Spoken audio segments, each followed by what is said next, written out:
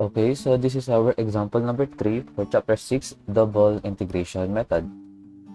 Determine the location and value of the maximum detection in the beam. Number 2, draw the elastic curve of the beam using double integration method. Take E as 200 gigapascal and I as 100 times 10 raised to 6 mm to the fourth. And this is our beam. Yan. So yung ating beam merong overhang. Okay, and yung overhang natin is yung segment AB. So meron tayong load na 200 pounds. Then, sa segment BC naman, meron tayong distributed load na 100 pounds per feet. And as you can see, yung atin namang I is constant along the beam. Ibig sabihin, ito ay prismatic beam. So, ang gagawin ulit natin is yung, ano, kagaya lang din nung, ano, yung ginawa natin sa problem number 1 and number 2.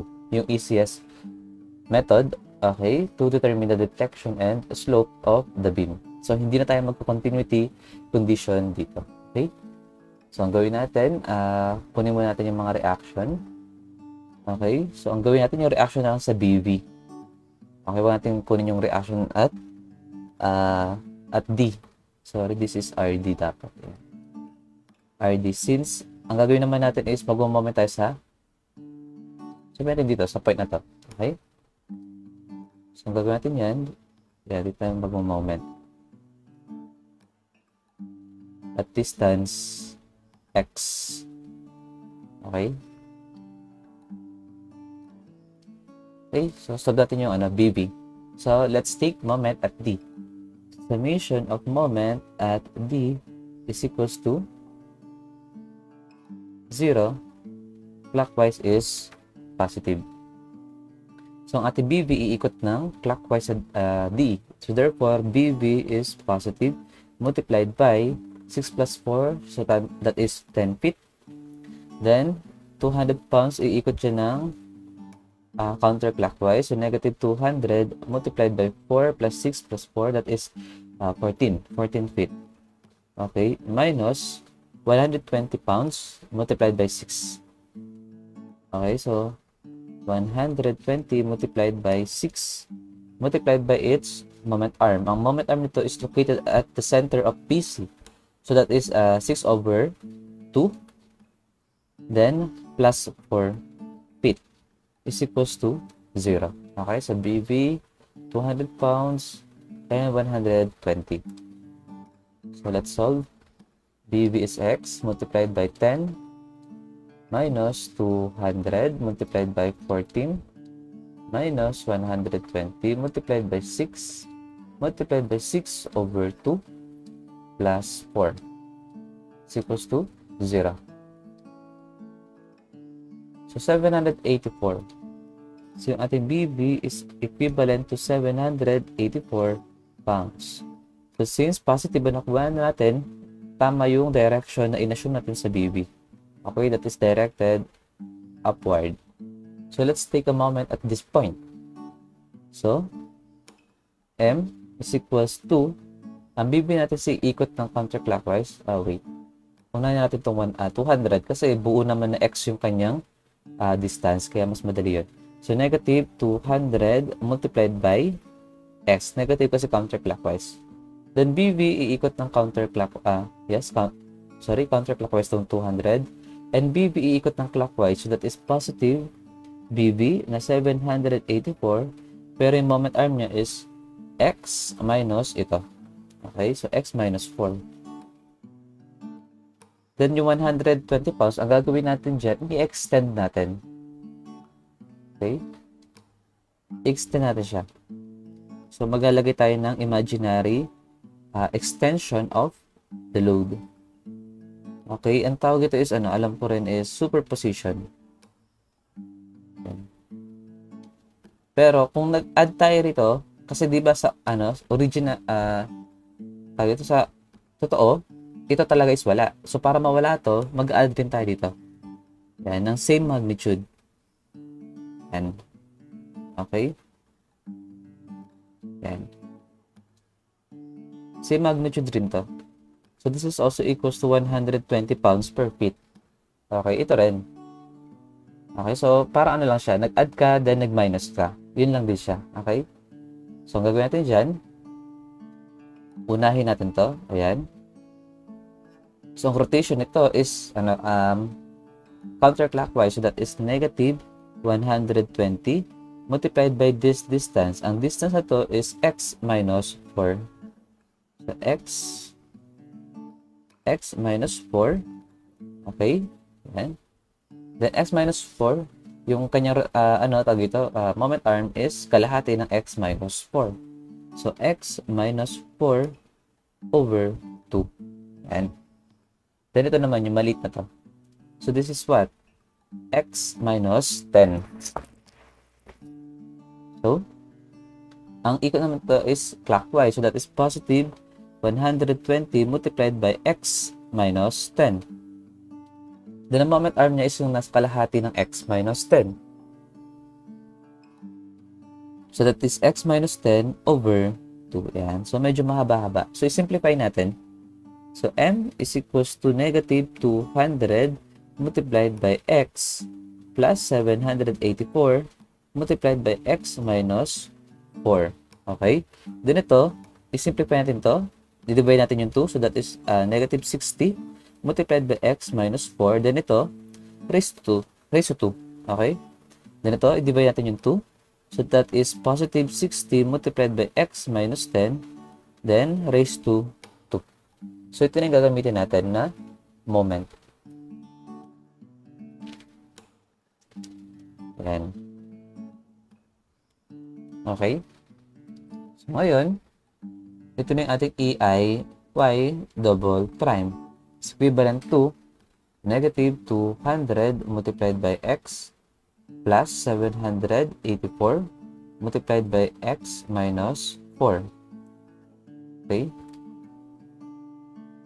Minus 60 multiplied by x minus 4 squared plus 60 multiplied by x minus 10 squared.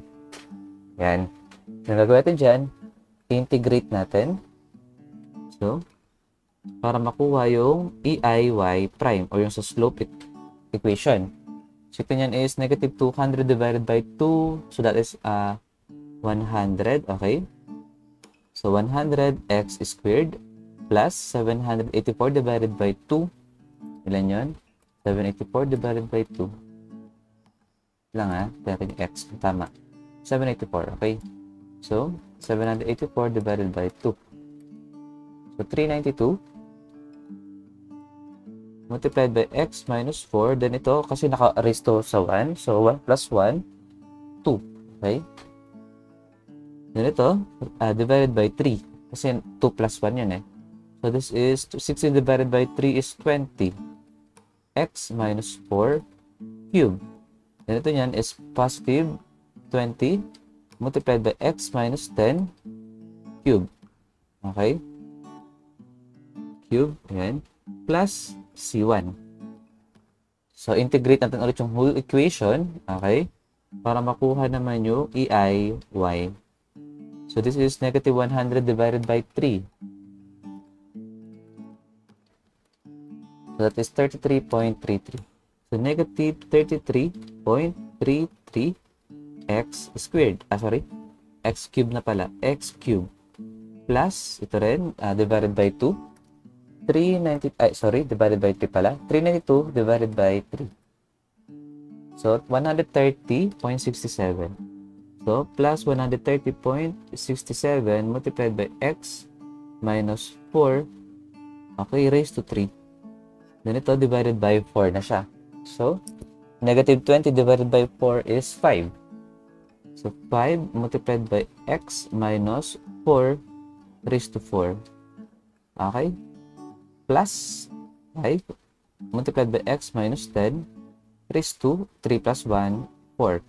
Then plus c1x plus c2. Ayan. Okay, so ito yung equation na gagamitin, na, gagamitin natin for deflection. And ito naman yung equation na gagamitin natin for slope. Okay? Yan. So, di tayo, di tayo gagamit ng uh, continuity condition. Ang gagamitin na lang natin is boundary condition. Yan. ang haba ng equation natin ha. Sa boundary condition. Okay? So, nasa yung mga support natin? Okay, at B and D. So, at B, yung ating X is meron ng distance that is 4 feet. Okay? Then, yung ating ano, uh, Y sa B is 0 kasi rin support dyan eh.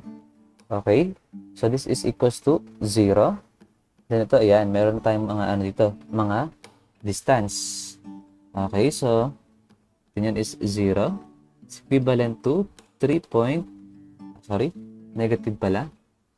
Negative 33.33 x cube. Then ito, okay, 4 and 4. So, mag-0 yan. So, 0 na to. Then ito, 0 din. Okay. Ito, ito, hindi pwede. Kasi negative to eh. Okay, so negative uh, or 4 minus 10 maging negative 6. So, ito na lang makakulod ng 10. Okay? So, plus C1x plus C2. Ayan. So, ito niyan, ilan yan? Negative 33.33 x cube. Then, calc, substitute natin value ng x. That is 4. Okay, so negative 2133.12. Then, transpose natin, magiging positive 2133.12 is equivalent to C1 multiplied by 4 plus C2. Ayan. So, yung ano kasi, sa problem 1 natin and problem 2, nagsi-zero yung C2 kasi yung location ng ating ano, first support is nakalocate sa 0 din eh. Kaya mangyari ito, 0, 0, 0, 0, 0 lahat. Okay, pati yung C1 magzi-0 yan kasi yung ating X is 0. Okay, nakamultiply siya sa 0. Kaya yung ating C2 is magiging equivalent to 0. Pero ngayon, hindi na. Okay, so meron tayong equation number 1. Okay, so this is our equation number 1. Pero don't worry kasi hindi pa naman tayo tapos sa boundary condition eh. Sa B pa lang yan. So try naman natin sa D. So, at D, ang ating x ngayon is, okay, so, hindi na siya 4, that is 14. 14 feet, and yung ating y dito is equivalent to 0. So, ito, 0 yan, is equivalent to, pasok to, so negative 33.33 x cube. Ito rin pasok kasi 14 minus 4. Ito rin pasok. Pasok lahat sila. Okay, so, papasok silang lahat, huwag natin isulat to. Okay? I-substitute na lang kagad natin. Yan. Okay, so plus 130 multiplied by x minus 4 cube. Then, minus 5 multiplied by x minus 4 to the fourth. Then, plus 5 multiplied by x minus 10. Okay, raised to 4. Yan. So, plus 5, x10, negative 5, x4, and, okay, ito, kulang oh, 130. 130, Marami, kakamali talaga ng pagpipindot eh. 130.67. Okay, the 33. Then ito, raised to 3, raised to 4, raised to 4. Okay, so calc, 14 feet. Yan. So, ito, ano, negative. So, i-transpose natin. Okay?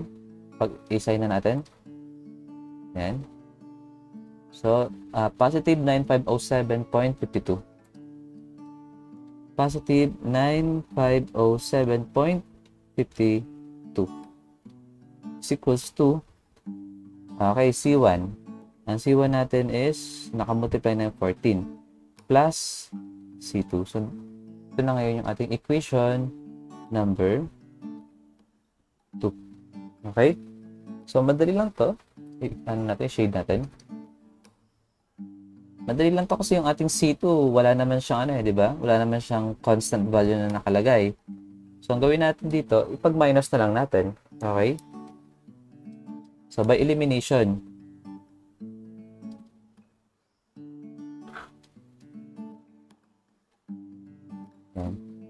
So, by elimination, ang gawin natin, subtract, oops, subtract equation number 1, okay, equation number 2 from equation number 1. Yan. So, subtract natin itong equation number 2 dito. So, 2133.12 is equals to C1 multiplied by 4 plus C2. Then minus 9507.52 is equals to C1 multiplied by 14 plus C2. So, minus yan. Ito niyan is mag-0. Okay? Then, ang makukuha natin is yung C1. So, 2133.12 minus 9507.52. So, this is negative 7374.4. Negative 7374.4 is equals to ito, 4 and 4 minus 40, that is negative C1 multiplied by 10. Therefore, ang ating C1 is equivalent to, divide natin ito ng 10. So, negative, ah, okay, so divide pala natin ng negative, no, para maging positive, okay? So, 737.44. 737.44. So, if this is pounds and this is feet, therefore this is pounds feet squared. Okay? Then, C2. So, substitute natin yung C1. Siguro sana na lang equation number 1. Okay? So, 2133.12 is equals to C1 which is equals to 737.44 multiplied by 4. Okay? Plus X. Yan. Yan. So, yung C2 natin is negative 816.64. So, negative 816.64. Ang C2 natin is pound, pounds feet, cube yan. Okay, kasi wala siya naka, naka-multiply na x, kaya that is cube. Okay? So, yan na. Meron na tayong C1 and C2. So, ito na gagamitin natin para sa mga equation natin. So, game. Ano bang pinapahanap sa number 1? Maximum deflection. Okay, so, dito, hindi natin alam kung nasaan yung maximum deflection. Okay, so actually, pina... Ah, okay. Dapat pala ang question dito is kulang. Maximum deflection in, uh, at segment. Okay? Add natin. At segment BD. Yan. Kasi actually, dalawa yung maximum deflection natin dito. Okay, so segment AB and segment BD. Kasi obvious dito sa overhang, di ba? Makakuha tayo dyan ng maximum deflection. Kasi alam natin na yung magiging ano nito, um, tawag ito, possible um, elastic curve is pa ganyan eh. Di ba? Dahil sa 100, eh, sa 200 pounds. So, meron tayo ditong ano, maximum deflection. Okay? And meron rin tayong maximum deflection para sa segment BD. So, ang hanapin natin dito is yung maximum deflection at segment BD. Yan. Okay?